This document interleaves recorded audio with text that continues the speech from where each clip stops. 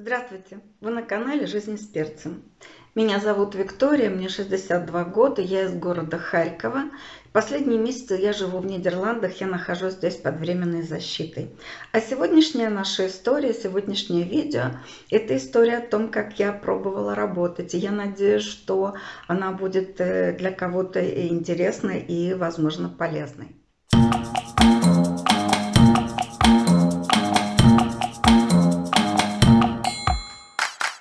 Большое спасибо европейским странам, Нидерландам за то, что они дают возможность беженцам работать, потому что, что бы мы ни говорили с вами, но работа это краеугольный камень. Но мы смотрим на эти все вещи открытыми глазами и понимаем, что человеку в возрасте э, карьеру ему уже не сделать, э, язык не выучить, на офисную работу э, многим из нас рассчитывать не приходится. И э, перспективы, которые открываются, они лежат прежде всего вот в сфере услуг, и в том числе услуг по уборке.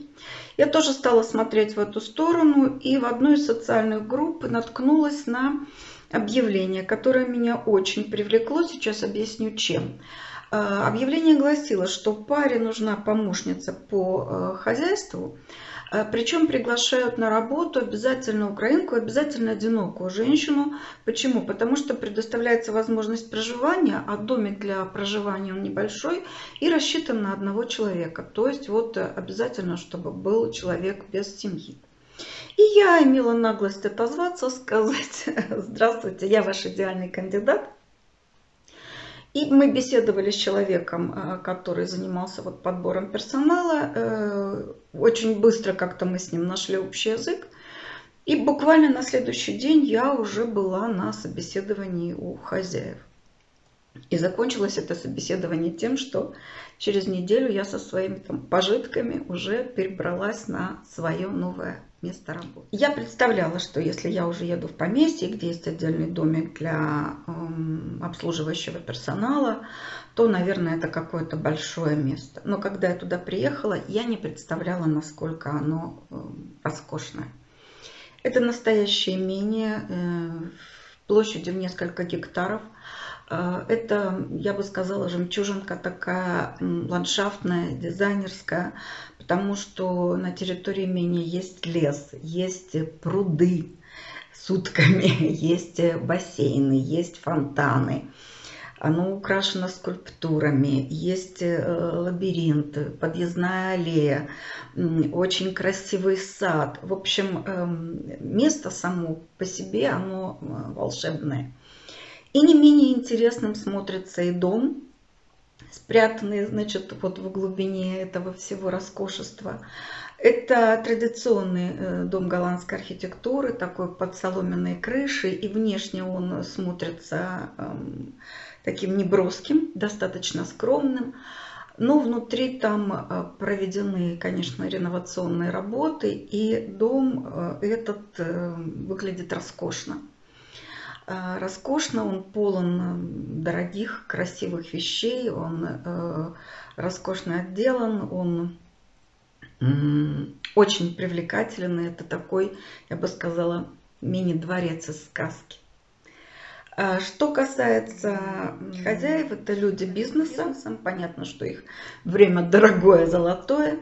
Э, но какое-то время они э, смогли сами заниматься, содержать э, этот дом. Нужно сказать, что приглашали человека на работу именно для работы внутри дома, только внутри дома, потому что участок он огромный, им занимаются, конечно, другие люди у зрителей может возникнуть э, как бы вопросы, что же ты все рассказываешь, ты покажи, как это все выглядит.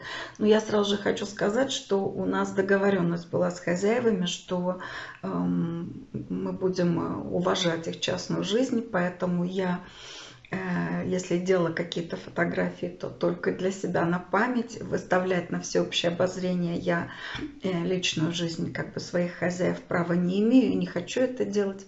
Но э, я попытаюсь проиллюстрировать свой рассказ вот какими-то похожими фотографиями, похожими интерьерами, которые я вот встретила в интернете. Значит, сразу же мы договорились, что работа моя внутри дома, что э, кроме уборки это еще будет э, стирка, глажка и э, наблюдение за тем, чтобы вещи выглядели достойно. Если вдруг я что-то значит, приготовлю, это не было моими обязанностями, но мне будут за это благодарны и признательны. Работать 8 часов с 9 до 5, выходные, суббота, воскресенье.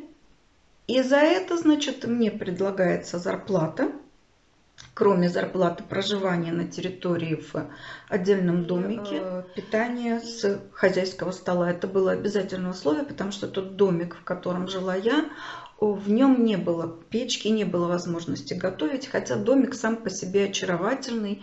Там есть э, душ, там есть э, значит, туалет и э, кровать, у которой матрас волшебный, у него поднимаются там ручки и ножки, и там телевизор, и Wi-Fi, и холодильничек. Ну, то есть полностью дома шкаф, полностью домик оборудован для жилья, но вот возможности готовить там не было. И э, меня устроили эти условия, я на них согласилась с удовольствием. Я со своими пожитками перебралась э, на свое новое место работы. Нужно сразу сказать, что у хозяев э, я была первая прислуга, у меня Раиса ругается ужасно она э, говорит, что это неправильное слово здесь. Эта работа называется housekeeper, то есть человек, который держит дом. Ну, домоправительница такая, скажем так, Фрейкенбок. Скажу, что одной из моих главных ошибок было то, что я в самом начале не оценила реальный объем работы. Я когда приехала первый раз, я, конечно, была под впечатлением от увиденного. Мне очень все понравилось, и все было настолько красиво и привлекательно, что э, нужно было, наоборот, не восторгаться мне вот тем, что я вижу, а представить вообще, каково это в обслуживании. А дом э, этот славен тем, что в нем нет ни одной простой ровной офисной поверхности. Если это мебель, то это мебель резная, украшенная, э, филенчатая.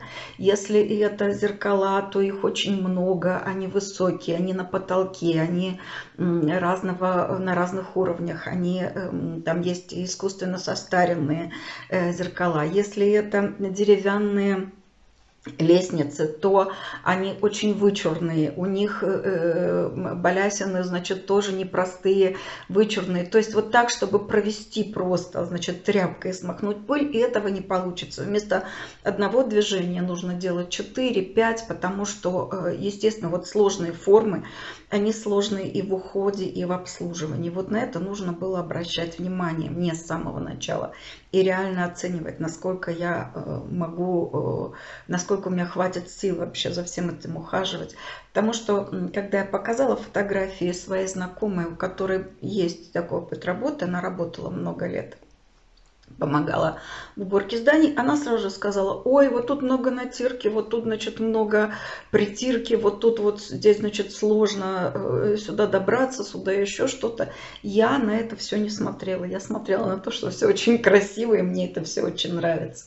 И это, конечно, было, было неправильно, и это была первая и очень главная ошибка. Э, что Когда я... дизайнеры этот дом делали, оформляли, они сделали все красиво, но их меньше всего волновало, как это все будет обслуживать. То есть это все очень красиво, но как это будет убираться, это никого не волнует. Вот не было э, того, что называлось, наверное, технологичностью да, э, в обслуживании. Не было каких-то моментов, когда ты бы подумал, боже, как это сделано здорово, как это сделано удобно, как это комфортно для того, чтобы убрать, как сюда легко добраться, как вот ты включила, оно там, условно говоря, само все очистилось. Нет, вот этих моментов не было, и это тоже э, то, о чем нужно было говорить и на что нужно было смотреть с самого начала. То есть есть уборка и как бы плюс, да, что э, помогает тебе, а есть минус. То есть это каждый день с пылесосом, с ведрами, с тряпками, со щетками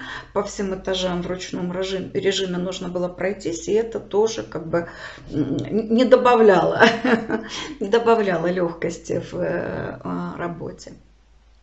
Следующий момент положительный. Эм, э, усадьба находится в э, сельской местности, это boerderij, сельские районы и движения там нет э, э, автомобильного интенсивного, воздух чистый, поэтому пыли, честно, вот хочу сказать, немного. Я не могла сказать, что прям она собирается, как, э, знаете, как на рояле ее видно. Нет, но большой минус это паучки, которые, значит, живут своей жизнью. И для них как раз вот здесь в лесу, в, на, в, на, свежем воздухе раздолье, и они в течение дня тебе такое могут э, э, построить и сочинить, что мало не покажется. Вроде нужно сказать, что э, хозяева мои люди замечательные, э, и они очень беспокоились и переживали о том, чтобы я себя комфортно чувствовала. Повторяю, что домик мой, вот он был с нуля, я его первый раз увидела, он был пустой, с нуля он был оборудован э, именно под человека, все было сделано для того, чтобы человеку там жилось комфортно, и не поскупились они на, не, не, взяли не, не самую дешевую кроватку, не самый там дешевый телевизор. А вот. Э, люди очень э, отзывчивые, очень приличные, очень пристойные. Я не чувствовала себя там какой-то униженной, оскорбленной. Никто меня не гнобил и никто мне не давал почувствовать, что я э, значит, тут там человек второго сорта, не доведи Господи, и вообще прислуга. Ну, это связано, конечно, с менталитетами, менталитетом и эм, с тем, что люди здесь ну просто по-другому э, выросли в уважении к чужому труду, но, ну и э, не, у них не было вот у моих хозяев то, что называется, знаете, вот дешевые понты, когда люди только недавно разбогатели, и э, они не знают уже, как бы, каким образом продемонстрировать э, свое благосостояние, благополучие. Вот, например, такой, эм, я же себе не очень много могу позволить по деньгам, да, и в сетевом магазине я всегда себе покупала там самые дешевые, недорогой шампунь, средства по уходу там за волосами и так далее. И у хозяев моих на полке, на, на, на, на полке в их э, супер-пупер там в ванной душевой комнате то же самое, тот же самый скромненький сирененький флакончик, то есть нет никаких вот этих понтов. И в холодильнике самые э, обычные продукты из обычных супермаркетов – и э, люди, ну, в общем, вели себя очень, очень достойно. И э, здесь у меня никаких как бы к ним претензий нет. И я надеюсь, что и у них тоже ко мне претензий нет. Следующий момент, и, наверное, его нужно обозначить как главный. Это момент недопонимания, момент разницы менталитетов. А в объявлении было сказано, что на работу приглашается женщина с, хотя бы с минимальным знанием английского языка. Ну и вот мой уровень английского языка, его как раз, э, кроме как словом минимальный, по-другому и не напишешь, потому что не опишешь. Э, если читаю я еще там кое-как с грехом пополам со словарем, то на слух воспринимаю язык плохо, а говорю еще хуже. Но это, даже не это самое страшное. А самое страшное, что мне вот тяжело было признаться, что я не понимаю переступить, и иногда я предпочитала просто кивнуть и сказать окей. И это, конечно, за собой, это главная проблема, но это моя проблема, да, я о ней говорю. Э, это за собой влекло, конечно, недопонимание. Начиная с того, что я не поняла, какая у меня будет зарплата, я услышала одно, хозяева имели в виду другое, на деле получилось третье.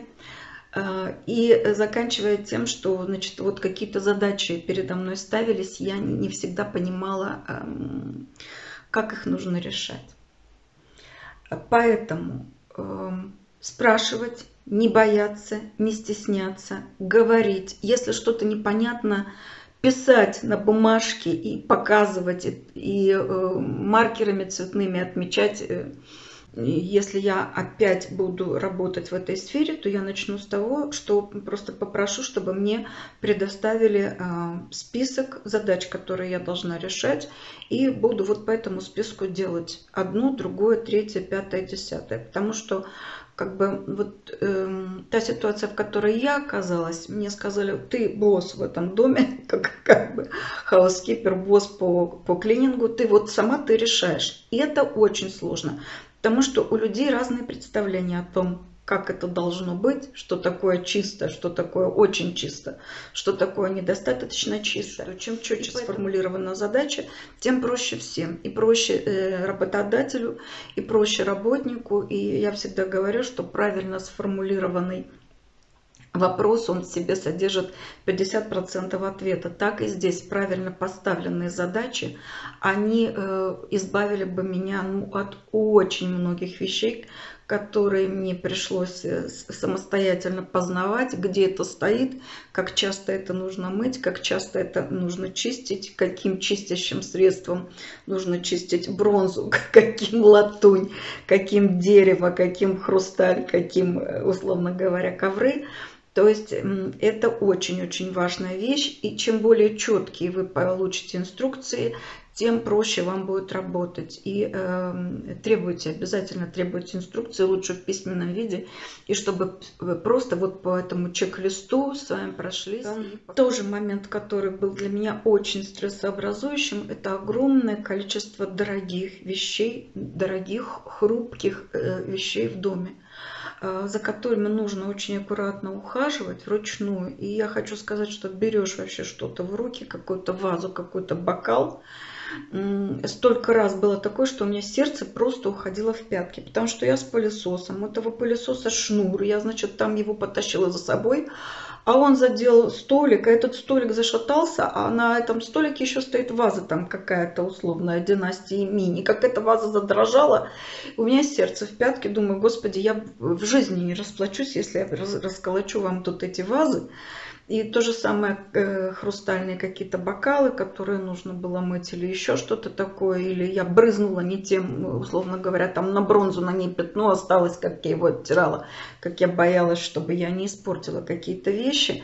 Э, здесь, вы знаете, вот я слышала о таком варианте, его, наверное, нужно практиковать, если вы будете в подобной ситуации поможет страховка. Наверное, э, ее нужно оформить на тот случай, если вы что-то разобьете или испортите в доме. Потому что, повторяю, вот все, самым, э, одним из самых сильных стрессообразующих факторов было первое, что я, значит, вот что-то не то сделаю, второе, что я что-то разобью, расколочу или испорчу, и это меня ну, очень сильно волновало, очень сильно беспокоило и доставляло много неудобств. Ну и вы меня можете спросить, что если уж так все было замечательно, почему ж ты оттуда э, сбежала? И э, почему до сих пор, э, значит, почему всю эту историю рассказываешь в прошедшем времени? Мне это тоже интересно, мне интересно в этом разобраться, и я для себя вывела три такие основные момента. Момент первый, самый главный, эм, это здоровье. Я говорила уже, мне 62 года, естественно, что мы все к этому возрасту приходим э, с определенным багажом заболеваний. Я всю жизнь работала в офисе, и, как говорится, ничего тяжелее компьютерной мыши не поднимала. Я не горжусь этим, но, тем не менее, это наложило свой отпечаток, этот сидячий образ жизни. И когда а, организму сказали, э, особенно ногам, что нужно 8 часов в день провести стоя, то ноги взбунтовались, особенно левая. Не хочет, болит и говорит, что я в таком режиме работать не согласна. И, к сожалению, я вынуждена к ней прислушиваться, потому что она, она решает это первое. А второе. А второй момент это вот тот пресловутый холодильник, о котором я вам говорила. Э, в домике, как вы помните, возможности э, готовить не было. И по условиям я должна питаться из хозяйского холодильника, из хозяйской кухни. И поначалу мне это даже показалось привлекательным, но потом оказалось, что это очень серьезный минус. Несмотря на то, что хозяева очень переживали. Несколько раз подчеркивали, что, пожалуйста, бери все, что есть. Требовали, чтобы я готовила. Но, первое, они вегетарианцы, и содержимое их э, холодильника, оно не совсем как бы понятно мне, не совсем подходит для меня тот образ жизни, который я веду. И э, хотя и говорят, бери, готовь, но вы понимаете, да, зачем я буду осквернять хозяйскую кухню там своим мясным или куриным бульоном. Хозяйские кастрюли. Мне было неловко, мне было вот э, стыдно, и я предпочитала, знаете, пойти в магазин, купить э, нарезку какую-то, купить э, намазки какие-то и положить это все в холодильник и вот этим там питаться из банок. Но, как вы понимаете, что долго в таком режиме, как бы человек в, в моем возрасте, он существовать не может. Это второй момент. Э, так что, конечно же, возможность готовить для себя привычную пищу, она а, многие бы вопросы решила. И момент третий – это отдаленность. А, отдаленность до ближайшего города 4 километра. И это прекрасный район с необыкновенной природой, сельский, пастораль такая, знаете, идиллия. Ты идешь, гуляешь вдоль полей, тут э, овечки, коровки, э, кого только нету, ослики. Э, велосипедисты ездят специально для того, чтобы насладиться красотой. Эм, жители города приезжают для того, чтобы погулять в окрестных лесах. И да, гулять это замечательно. Но э, в субботу-воскресенье мне нужно вырваться там на встречу с э, родными, со знакомыми, свои какие-то вопросы решать. И я завишу полностью от хорошего отношения добрых людей. Потому что машины у меня нет, права у меня нет. Пожалуйста, велосипед. Если бы я умела ездить, он бы, возможно, решил часть проблем, но мне очень стыдно в этом признаться. Я не умею ездить на велосипеде. Вот так получилось, не научили с детства, и сейчас, я, сейчас у меня это не получается. И я оказалась э, э, отрезанной, и э, суббота-воскресенье вот мне нужно было встретиться с родными. Значит, один час пешком до автобуса, потом автобусом до ближайшего города, оттуда от города на поезде, и потом то же самое в обратном направлении. А, э, световой день короткий, и, в общем, эм, это, это э, для меня оказалось эм, ну, таким значительным э, препятствием, которое не позволяло мне себя чувствовать вот в том месте, где я была счастливой. Но как бы там ни было, я очень благодарна судьбе за этот опыт. Я очень благодарна судьбе за этот урок. Это было настоящее, знаете, такое приключение, э, которого раньше не было в моей жизни. Мы расстались очень хорошо с моими работодателями. Не пообещали мне при необходимости дать все необходимые рекомендации. И они были вроде бы как довольны моей работой. Я довольна тем, что познакомилась с этими людьми. А для тех, у кого вдруг впереди маячит такая перспектива, значит, самые главные моменты. Хочу еще раз на них обратить внимание. Первое. Реально оцените объем работы, реально оцените свои силы, посоветуйтесь со специалистами, потому что есть дома простые в обслуживании, есть дома, которые, вот как мой, э, они в обслуживании достаточно сложные. Второе, не бойтесь разговаривать, не стесняйтесь спрашивать, переспрашивать. Если что-то непонятно, лучше напишите на бумаге цифры э, непонятные вам, или время, или еще что-то, или название каких-то продуктов или препаратов, потому что а, вот эта попытка уйти от решения вопроса, она ни к чему хорошему не приводит. Это э, неправильная политика, ее не надо придерживаться. Э, ну и э, третье, дерзайте, дерзайте. Э, спасибо большое всем, кто посмотрел это видео. Если вы отзоветесь комментарием или лайком, а если подпишетесь на канал, так я вообще буду очень счастлива. Вы мне очень сильно поможете. А я на этом с вами прощаюсь. Желаю вам всего доброго. Берегите себя, берегите тех, кого любите. Удачи вам и до новых встреч.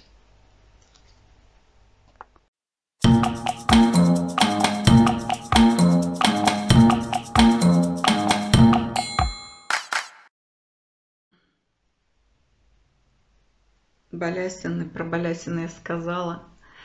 А, сказала, да? Да, про Балясина сказала.